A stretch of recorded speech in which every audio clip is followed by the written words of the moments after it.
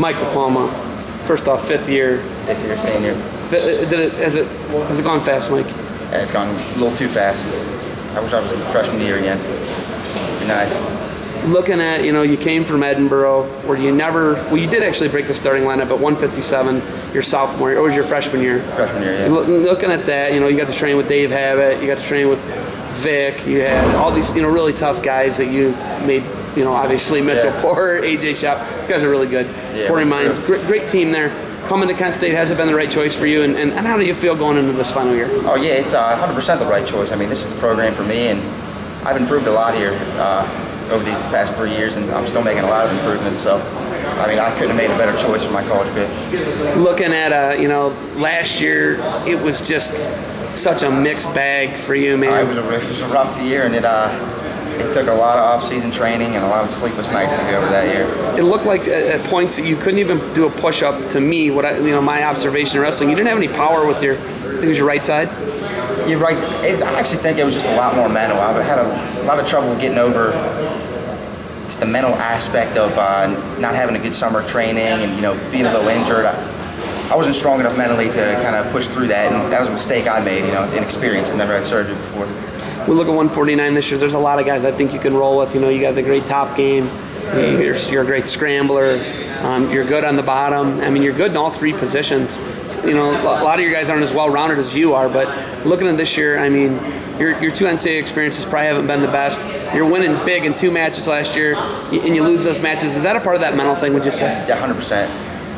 And uh, that's something that I believe I am over, and something that I've really focused on this summer.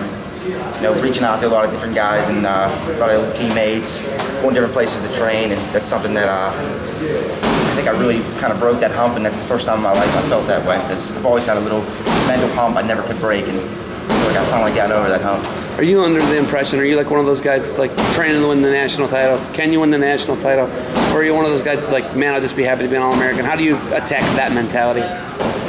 I see it as you got to be the top of the podium, and there's no, you know, I'm not going to be okay with a third or a fifth or or no and two like last year. It's like if I'm not at the top, then I see my wrestling career as a disappointment, you know, to some extent. Obviously, I love wrestling, but if you're not going to, well, for me, just I put so much time and effort in that I need to be the best at it before I'm done. Are you having fun doing Oh, it? So, you know, it's in your fifth year. Oh my goodness, this is the funnest season training I've had in my life. The summer, I mean everything. We had so many good workouts and places to train. I mean, got to travel a little bit to train, and that was just. This is the most fun I've ever had training. You, you got to train with Dave a little bit this summer up in Michigan. Do you like in that? Michigan. Oh, blast. He uh, he's feeling good. That kid can wrestle. And he's uh, he's gonna freestyle stage by storm.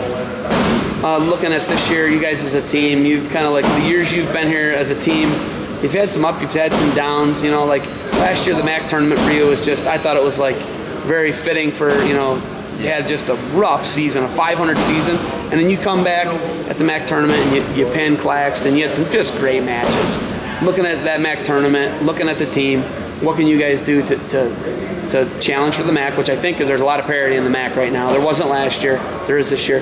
What can you guys do to challenge to be the MAC champions this year and get eight, ten guys to nationals? Work our tails off and do the right things right now. I mean, we just need our whole team buying into doing the right diet, getting to bed on time, staying in on the weekends, and you know, training really, really, really hard right now.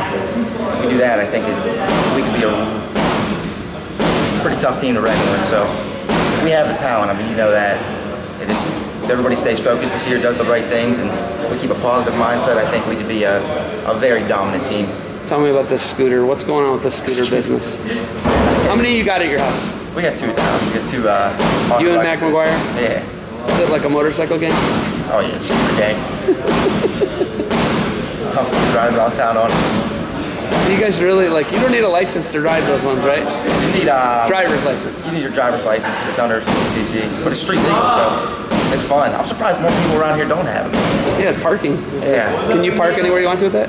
You have a pass, but You, you just probably still park wherever you want. see They don't see it. You put it behind some bushes. yeah, All right, hey Mike, thanks for the time. You got anything else for me? that's it. All right, hey man, always good talking to you.